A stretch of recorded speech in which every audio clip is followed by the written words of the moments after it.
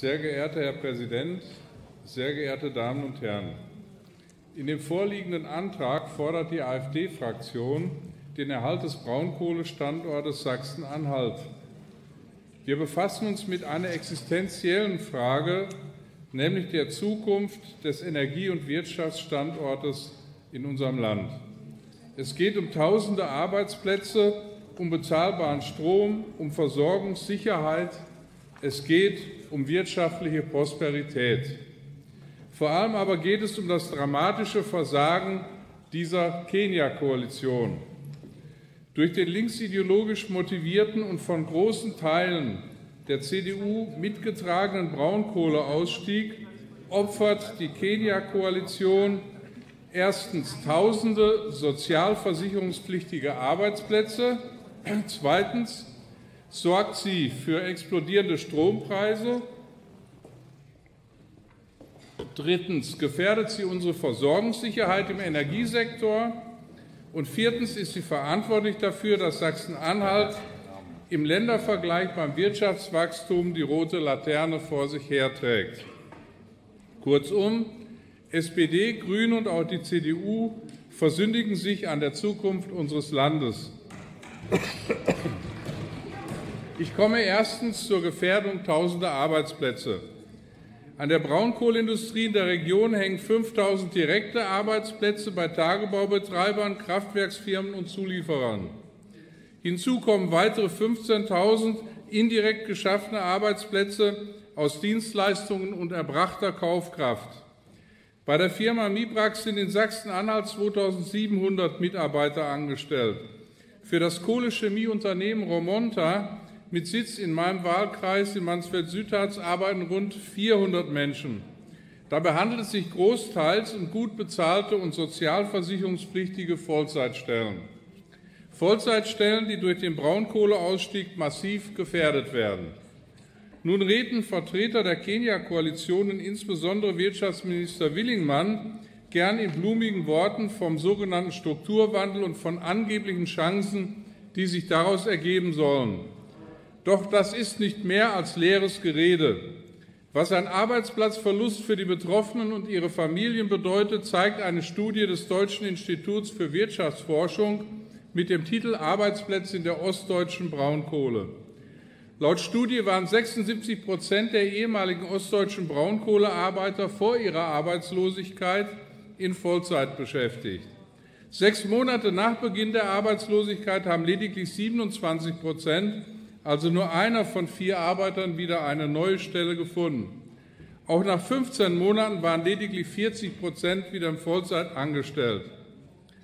Ehemalige ostdeutsche Braunkohlebeschäftigte, die ihre gut bezahlten Arbeitsplätze verloren und eine neue Beschäftigung gefunden haben, müssen auch nach einem Jahr im neuen Beruf Gehaltseinbußen von durchschnittlich 26 Prozent hinnehmen.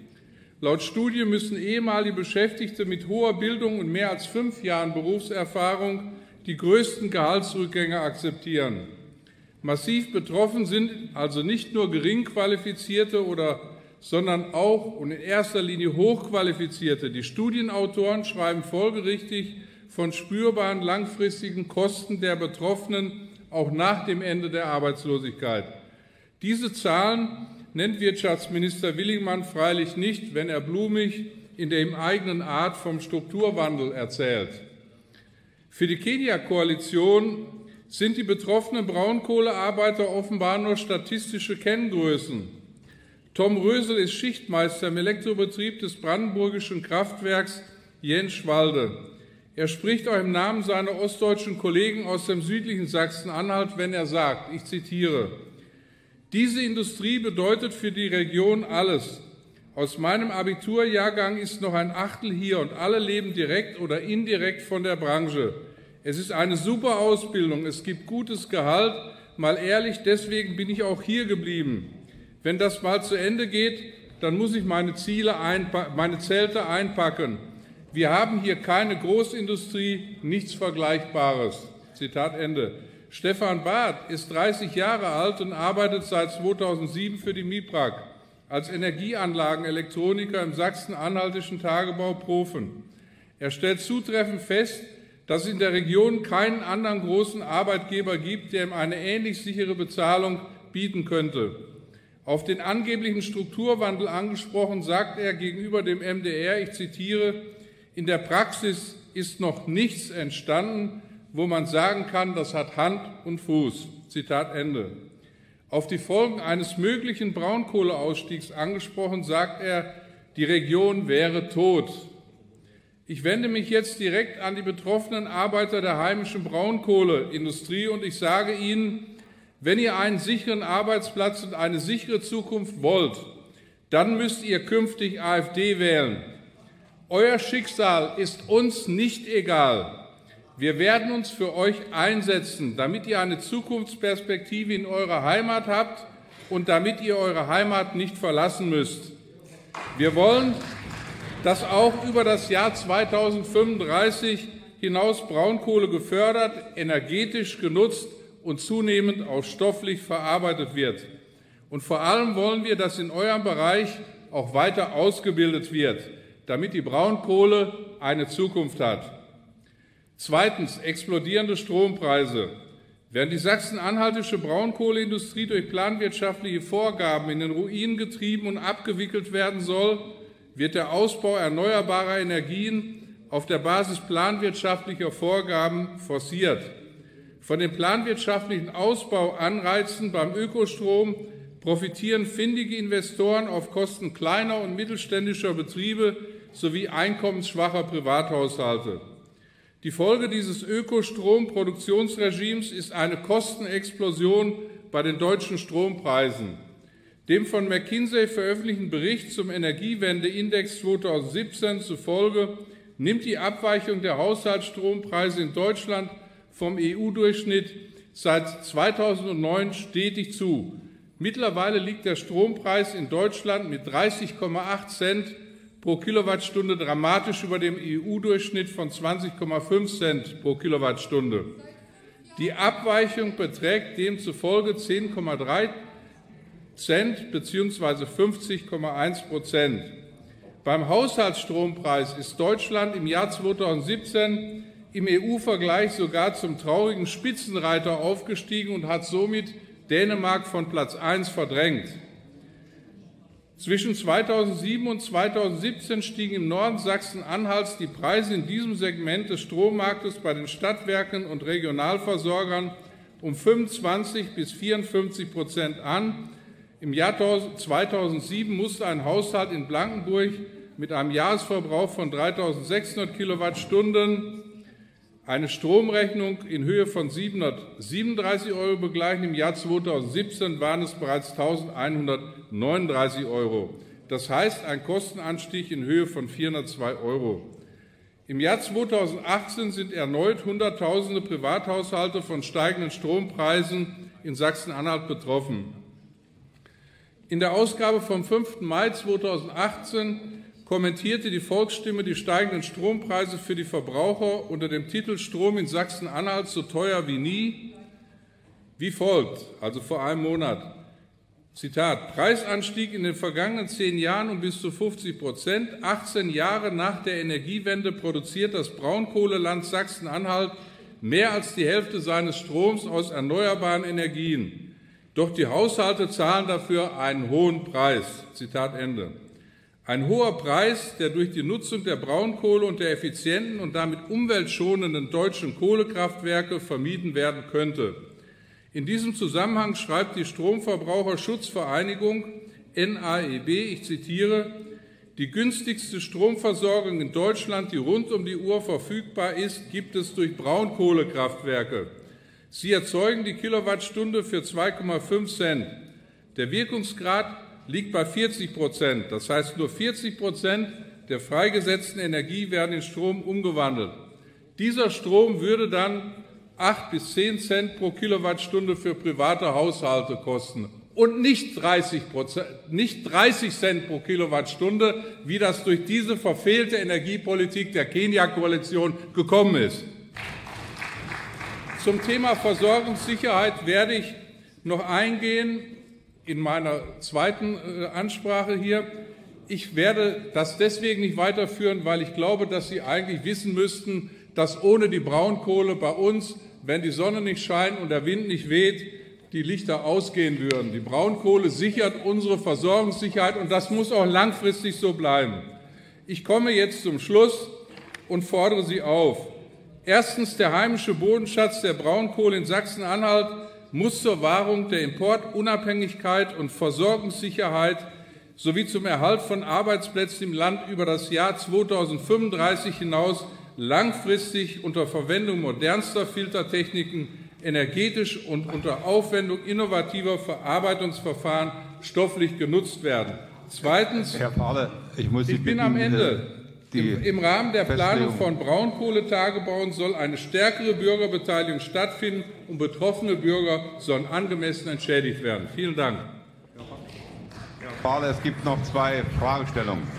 Und zwar Herr Erben als erstes. Herr Erben, Sie haben das Wort. Pahle, als Bergbau- und Energieexperte Ihrer Fraktion haben Sie sich ja vermutlich auch mit den geologischen Gegebenheiten hinsichtlich der Braunkohlevorkommen in Sachsen-Anhalt beschäftigt. Sie haben ja richtig erwähnt, dass der Tagebau Profen in 2035 ausläuft. Wenn Sie sich dann mal die Vorräte in Sachsen-Anhalt angucken, wo würden Sie denn als nächstes einen Tagebau in Sachsen-Anhalt aufmachen wollen und äh, aufschließen wollen? Das wäre meine erste Frage. Mit der zweiten folge ich noch. Ja, also im Gegensatz zu Ihnen bin ich der Meinung, dass diese Frage, wo man einen weiteren Tagebau aufmacht und Braunkohle abbaut, dass man das den Firmen überlässt, die diese Sache seit Jahrzehnten in unserem Land betreiben und zwar erfolgreich betreiben und nicht irgendwelche Wirtschaftsspielchen an irgendeinem Schachbretttisch veranstaltet. Vielen Dank. Nächste Frage. Herr, Herr Erben, noch eine Nachfrage, ja? Ja, bitte. Die Frage ist ja nicht beantwortet und deswegen habe ich natürlich noch Die eine muss ich zweite. auch nicht beantworten. Die beantwortet Ihnen gerne der Vorstandsvorsitzende der MIBRAG, mit dem ich Herr- gesprochen habe. Herr, Herr Bahle, Herr Erben, Erben, Sie haben das Wort Sie jetzt. sind, glaube ich, als PGF in, in gleicher Weise verpflichtet, wie ich, sich hier an Regeln zu halten. Und der Herr Präsident hatte mir das Wort erteilt und nicht Ihnen. Deswegen durfte ich jetzt reden. Das will ich jetzt auch gerne tun. Da will ich Ihnen auf die Sprünge helfen. Es gibt ja nur zwei Braunkohlevorkommen in Sachsen-Anhalt, wo die bergbaulichen Voraussetzungen gegeben werden, einen Tagebau neu aufzuschließen. Und das eine ist die Egelner Mulde, wobei dort die landesplanerischen Voraussetzungen nicht gegeben sind bis 2020. Und das andere wäre das Vorkommen Lützen. Und wenn Sie hier beschließen wollen, dass neue Tagebaue aufgeschlossen werden, dann müssen Sie schon die Frage beantworten, wenn nur zwei Vorkommen in Sachsen-Anhalt in Frage kommen, wo Sie das machen wollen. Fahle, wenn Sie jetzt antworten möchten, Ja, haben Sie das darauf Wort. antworte ich Ihnen klipp und klar, das Verbot und die, das Abstellen, dass neue Tagebaue eröffnet werden dürfen, was Sie vorhaben und im Koalitionsvertrag von Kenia festgelegt haben, das muss beendet werden. Und die MIPRAG wird dann entsprechende Pläne vorlegen, die wir dann im Landtag auch zu besprechen und zu beschließen haben. Das ist die Antwort. Wir machen nämlich nicht Planwirtschaft hier, sondern wir machen Marktwirtschaft. Und da haben die zu entscheiden, die die Unternehmen führen. Ich sehe keine weitere Fragestellung, dann danke Ihnen ab. Ach so, Entschuldigung, Frau Friedrich, Herr Fahle, ich hatte Frau Friedrich jetzt vergessen, sie hat sich zu Wort gemeldet. Frau Friedrich, Sie haben das Wort.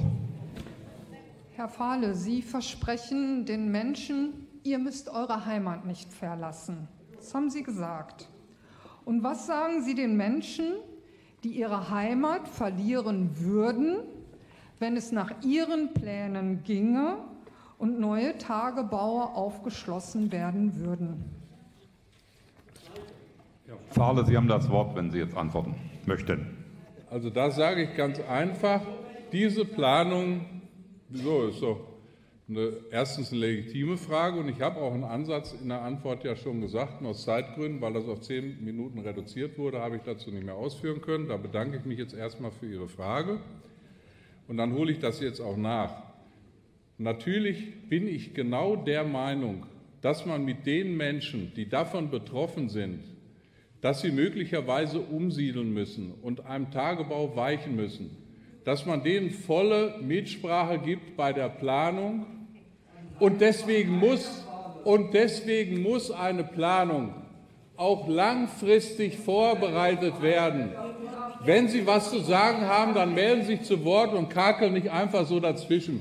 Also, dann muss man den Menschen die dann muss man den Menschen die Möglichkeit geben, langfristig dabei mitzuwirken, und sie müssen ordentlich entschädigt werden. Und genau damit wollen Sie die Braunkohle zerstören, weil Sie jede, weil Sie jede Möglichkeit, Herr, Herr Dr. Gruber, weil Sie Herr Dr. jede Gruber, bitte mehr Möglichkeit Disziplin. verhindern wollen, dass neue Tagebaue erschlossen werden. Und damit muss man nämlich im Jahr 2020 anfangen, wenn man im Jahr 2035 diese Industrie nicht beerdigen will. Und wir wollen diese Industrie nicht beerdigen. Wir wollen die Arbeitsplätze für die Menschen. Herr Fahle, bitte.